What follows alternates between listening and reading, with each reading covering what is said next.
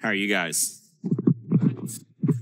So, you all look good. You all look like your dads. I dress like my dad the best I could. I, uh, here's a story about my dad since it's dad night. You got to start off with a dad story, right? So, my dad has this tendency to wear the ugliest shirts possible. And so, one of the shirts he likes to wear is got the, it just, it's like all the flags of the entire nation's all over it. And we make fun of it all the time because he tucks it in and he's so proud of that shirt. He's just so proud of it. And I say, Dad, I don't know whether just to hug you or just say the Pledge of Allegiance to you. I'm just really confused. And he gets so mad at that every time we say that. So dads are funny. The older I get, the realize I'm a little bit more like my dad than what I wish. So, yeah. So, uh, for all of you, um, it's coming. Just be prepared, okay? So, uh, so here's the deal. We're going to continue uh, our series on habits. All right. And this is one of probably the harder ones, but it's probably also one of the ones that a lot of you are probably doing fairly well at. All right. So what we're going to do tonight is we're going to talk about the I and the T. And the I and the T really think of it like this. The I is involvement in the church, or what we call it here is I serve. All right. So a lot of you are serving. If raise your hand if you are serving in some capacity, whether it be up here on stage doing announcements or leading worship, or even in kids ministry, greeting in some way, shape, or form, whether you're serving at beautiful feet on a regular basis. So there's a lot of you that are serving in some way, shape, or form. Okay. And so the next one is a tithing commitment. And some of you are probably thinking, I make no money. How in the world am I supposed to give when I make nothing? All right, so we're going to talk about tithing and how that relates to you as well. Okay, so here's the, the bottom line for tonight is the I and the T are pretty well connected. All right, and so there's two habits getting involved and tithing. What does the Bible say about these two? All right. So the first one is let's look at this involvement, or what I would say is I serve. Why in the world is serving important? Okay, let me give you an example. If your parents give you something, do you treat it really, really nice when you first get it? Right? You take care of it, right? So your first car, right? I washed my first car every single week. I, I kid you not. My friends joked that I was going to wash the paint off that car. It was the world's ugliest car. It was a Ford Escort station wagon. Hey, I know. Hey, I was the cool one. I had a sunroof on this because I had, I cut a hole in it I didn't. I paid someone to put a sunroof. My dad said it was the ugliest, the dumbest thing I've ever done. But man, that sunroof was off every chance I got. I had the little CD player, the Velcro thing on top of the dash. It looked good, right? I was proud of my car. I washed it and I waxed it. I took great care of it.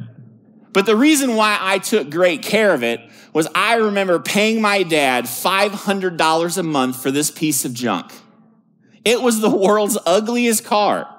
But you know what? I was proud of that car because, in a sense, it was my freedom. Now, my friends, God bless them, they were given cars. They hit mailboxes, deers, people. They, I remember driving to school and they would shoot bottle rockets at other people and they would get bottle rockets. They would have smoke bombs and they would try throwing it in my car in the sunroof. Like they didn't care because their cars was just given to them. In, some way, shape, or form, that really relates to us. The things that you work really, really, really hard for are the things that you take care of. The things that are just given to you, sometimes we have a tendency to take it for granted. My, my son is nine years old, and some of you know that he wanted a PlayStation 5. And he waited an entire year for this thing. And he takes great care of it because he waited for so long. So here's what this I is all about. This I is about committing to God's plan. And in Matthew 6 18, I don't know if the verses are on the screen or not. Do we have the verses? Yeah. And I will tell you, Peter, on this rock I will build my church, and the gates of hell shall not prevail against it. So this is a soapbox for me. Jesus says in this passage that he is going to build his church. He doesn't say that he is going to build his parachurch organization, which is like would be like FCA or something. He says that he's going to build his church. All right? and, and nothing is going to conquer it. But Jesus wants us to be a part of a church that teaches the Bible.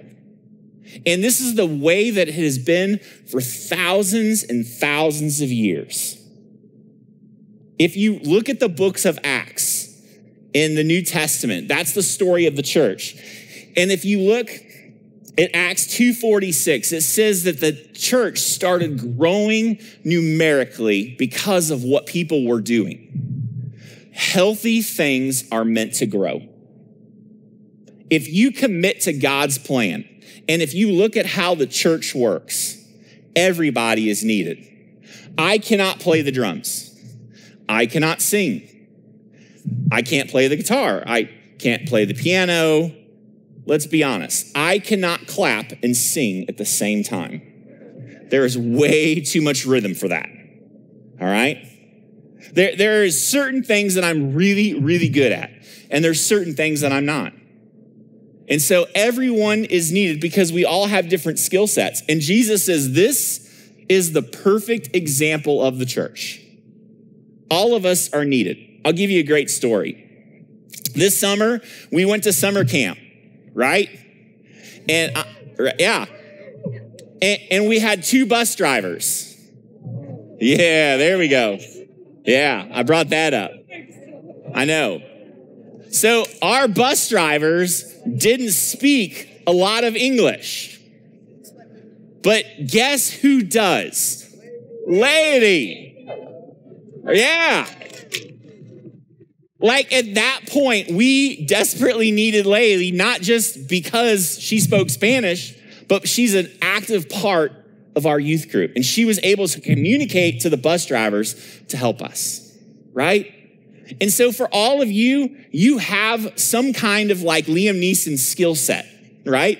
That you need to use, that you can further the church. God says, Jesus says that he's gonna build his church and he's going to build it upon Peter. He's going to build it on us using our time and our talents and our treasures. Okay? Here's a blank. This is important for you to understand. Refuse to confuse attendance for spiritual growth. For some of you, you're sitting here and you're thinking, oh, I'm here at church. You being at church does not grow you spiritually. We, we talked about it the very first week that I taught.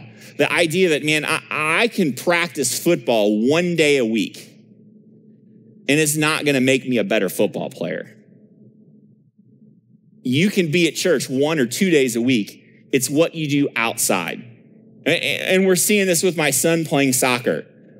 He loves soccer, and we thought he was on a really good soccer team. So our coach decided to go to Dallas and enter a tournament and select tournament. In the city of Weatherford, it was normal for us to be 13 nothing, 8 nothing, 10 nothing. Oh, the other team scored a goal. We lost, but we still scored 8 goals. So we went to Dallas into a tournament and it was flipped. We had one kid that was his age that was on the other team that was throwing up because it was so hot and he get he was just he overexerted himself. I'm like, man, that's a 9-year-old that's throwing that's awesome. Like he gave it everything he got.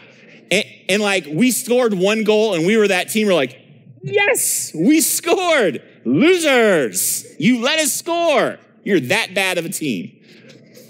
You know, it's because those eat and breathe soccer. They practice. Let's be honest. Shane does not practice soccer. He practices on Tuesdays and Thursdays, and that's it. That's the extent of his skill. That's all he wants because there's other things that he wants to do. Uh, refuse to confuse attendance for spiritual growth. You put in what you get out. All right? The reason why we're so passionate about you serving is because what you put into something is what you get out. We want you invested in what's going on here at TBC. We just don't want you to act like students, like you're just here, but you're an active part of this church. That's why you were invited to uh, volunteer appreciation night because you serve in a lot of different ways and you need to be recognized for the time that you put in. When you start putting something in, you're going to get something out. You have a vested interest. Fair? Okay. The next one is tithing. What about this whole tithing thing? The church does not need your money. It's not about money. All right? Matthew 6:33. This is what it says.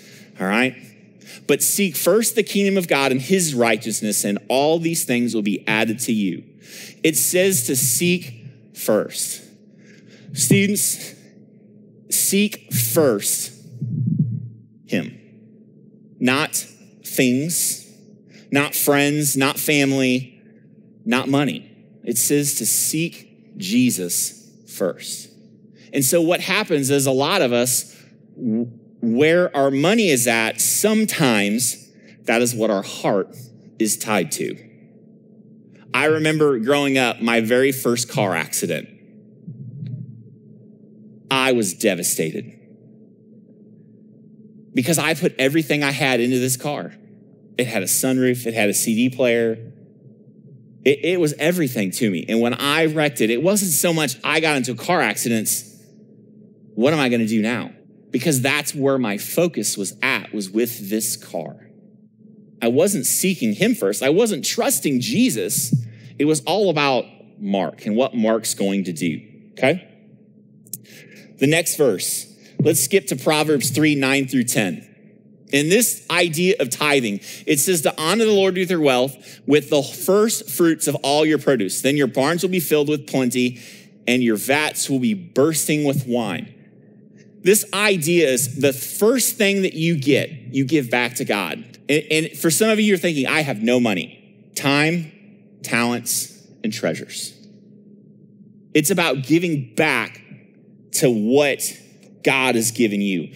For some of you, it's your talent on the football field, baseball field, volleyball field, soccer field, wherever it's at, it's about giving it back and honoring Him with what He's given you. Okay? This is also the only spot where we're told to test God. It's not about your money, it's about you trusting God. Okay? Here's how the church works too, part of serve.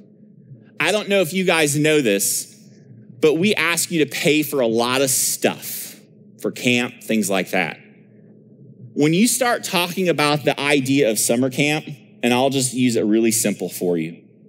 Summer camp, we charge you $500 to $575 for camp. The actual cost of camp is $400. You're like, wow, there's an extra $150, $175 in there. Where does it go? Well, the buses that we take, which the cheap buses that we took last year, right, were $18,000. Yeah. That breaks down to about $100 a student. Plus, we have to put the bus drivers up in a hotel, right?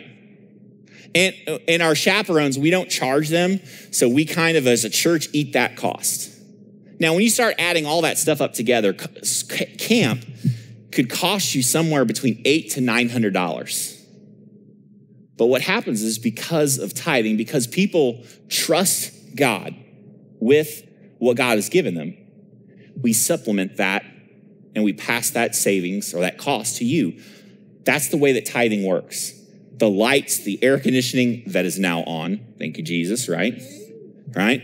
All of that is paid for by people trusting Jesus that he's going to continue to provide for them. That's why tithing. And the crazy thing is, guys, it has worked like this for thousands of years. It's how the church has been operated. For some odd reason, Jesus, God, knew what he was doing when he created the church. So here's my challenge for you in small groups. Okay? It's really simple.